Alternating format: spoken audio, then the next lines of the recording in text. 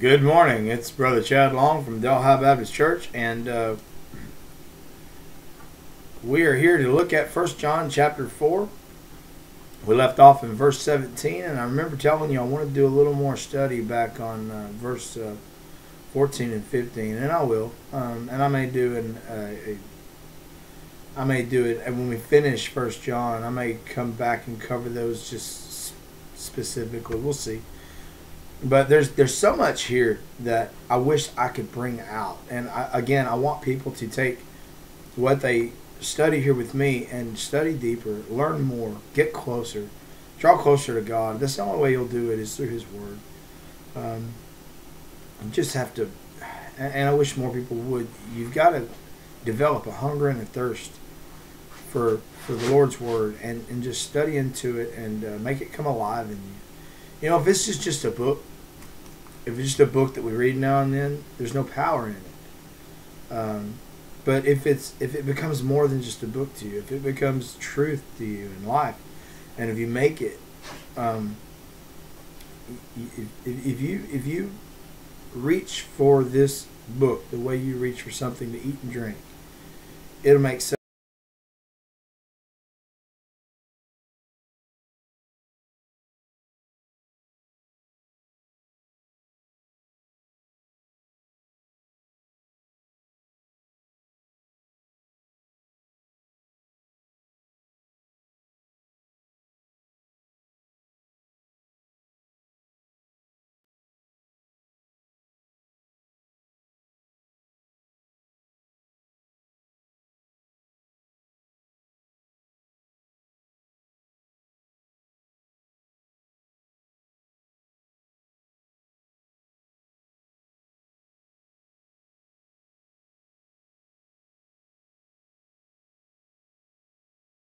Which I will reread, where John says, Herein is our love made perfect.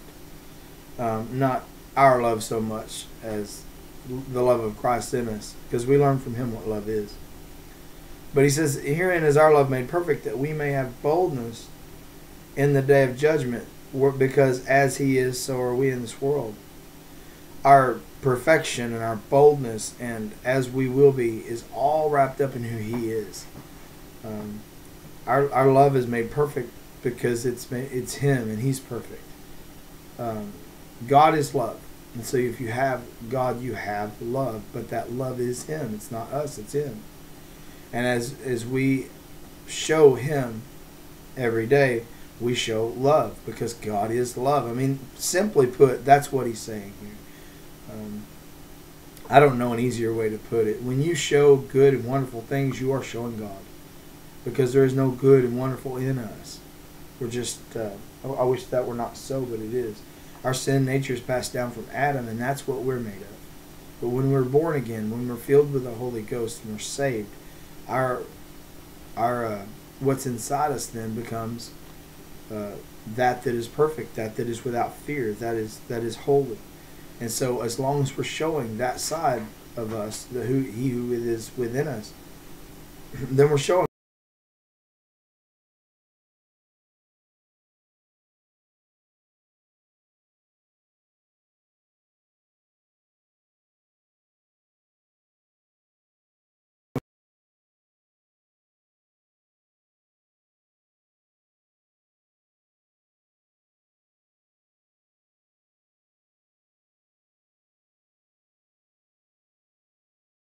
Scare me. I, am okay with them on a nest. Spiders on a nest don't bother me, or a web rather. They don't bother me so bad. I can look at garden spiders and I can get really close to a, to a web with a garden spider on it because they have never attacked me. I've never even seen them come off their web. And garden spiders don't bother me at all, just so long as they don't touch me. if someone were to take a garden spider and throw it on me, I would probably lose my mind. So I, I don't like spiders. I don't like them to touch me. It gives me the heebie-jeebies um, people are scared of coronavirus. I mean, some people really freak out about it. And if that's you, I'm not being critical. I'm just making a point. People can have fear, but God doesn't have any fear. So the more of Him we have in us, uh, and and listen, if we have the Holy Spirit, we have the Holy Spirit. But we don't always let the Holy Spirit guide. We don't always we don't always let him lead, and we don't always let him completely control and fill us. We compartmentalize the Holy Spirit. He's within us, and we compartmentalize him. We hold him in this spot, and we allow him to move when we're listening to him, and we keep him kind of enclosed when we're not listening to him. And so when he's not in full control, and we're not letting him lead and guide and use us as God sees fit, then we can be motivated by fear. But when the Holy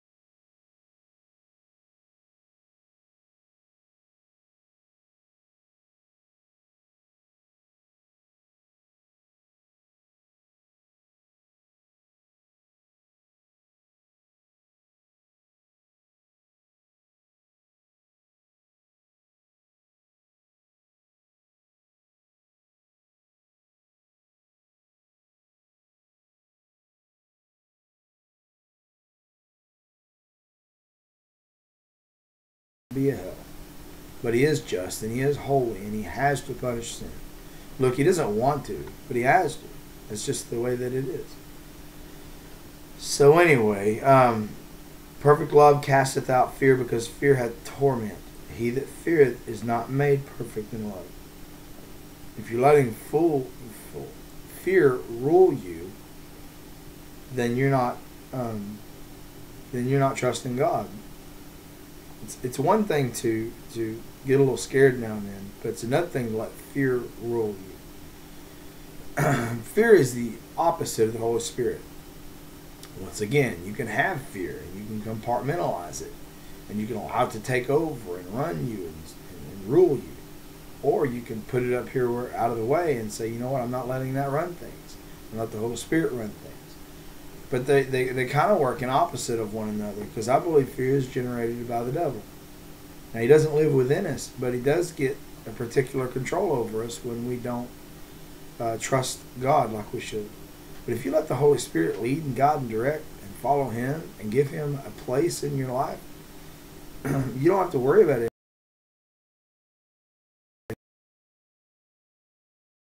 can use to determine where we stand with the Lord.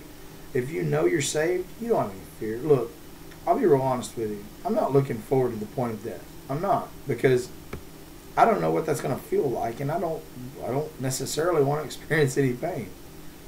But as far as the experience of death, of, crossing over, of, of no longer existing in this form, I have no fear of that. I'm not scared to die. I'm scared of the process, but I'm not scared of the event. Um, in fact, I'm ready. I'm ready to go and be with the Lord whenever He's ready. That's just, you know, the way I think we're supposed to be. but those who fear death, why do they fear death? Um, what is it that's scaring them? Obviously, the pain is understandable, but I, I, that, that would scare me too. But the end result, I'm not scared of that. I don't have any reason to be because I'm going to be with the Lord. So, anyway, um, these are just examples of fear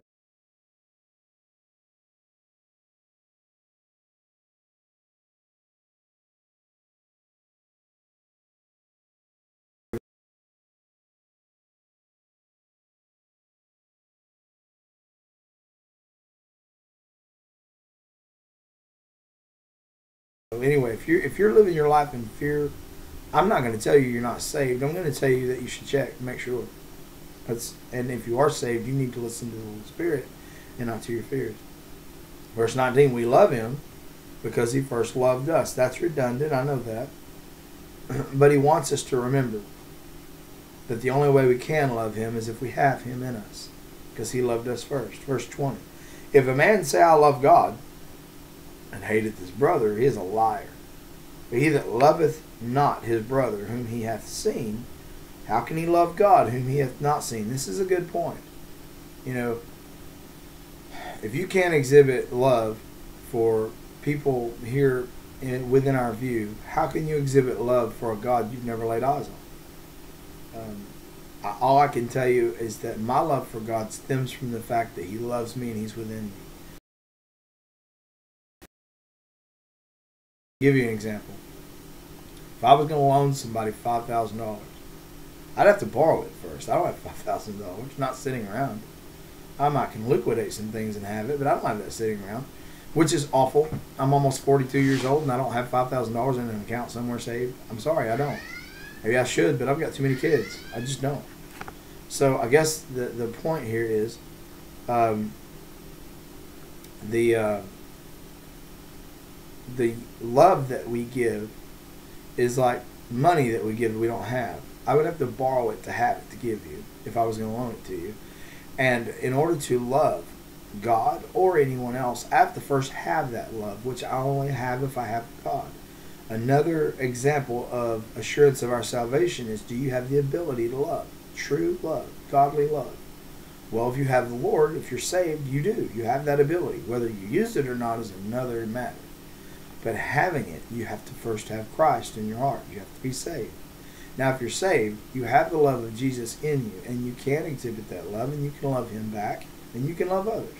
You can fulfill the two commandments Christ gave, but only if you have Christ. See, that's the point. Jesus gave two commandments to sum up all of the 613 laws of Moses. He said, Love God with all your uh, heart, mind, and strength, and love your neighbor as yourself. Well, you can do that if you have Christ in you because you have He who is love. If you uh, don't have Him, you can't do those things. There's no way. There's no way you can keep those two commandments, and we can't keep them anyway because we're human. But to have any hope to keep them, you have to have Christ in you. He says, In this commandment have we from him that he who loveth God loveth his brother also. So he's saying what I just told you that if you have the love of God in you, you can love your brother. If you don't have the love of God in you, you can't love anyone because you don't know what love is. Love is not a feeling, and love is not tied to a particular relationship other than Christ. True love is found in Jesus, and you have to have that relationship to have it and to understand it and to exemplify it. So, anyway, I hope that's clear. We're going to move into a new section tomorrow in chapter 5, and it's going to go another direction, but it's still going to prove that you can know whether or not you're saved and uh, it's going to sum up some of the rest of this. So anyway, um, I hope you're getting what I'm saying. I hope I'm making it clear. I hope you have the love of Jesus in your heart. Uh, we used to sing a song when I was a kid. I've got the joy, joy, joy, joy down in my heart, down in my heart. I've got the wonderful love of my blessed Redeemer way down in the depths of my heart. If you didn't follow that, that's okay. That was one of the fun verses because it was how many words could you fit into a beat. I'll do it one more time. I have the wonderful love of my blessed Redeemer way down in the depths of my heart. Down in the depths of my heart. Try to do it fast. I have the wonderful love of my blessed Redeemer way down in the depths of my heart. See, that was part of the game. That was fun. But anyway, the truth is, if you have the wonderful love of your blessed Redeemer way down in the depths of your heart, then you can understand what he's saying here, and you can give that love back to others. Have a wonderful day and uh, a wonderful rest of your week. God bless you.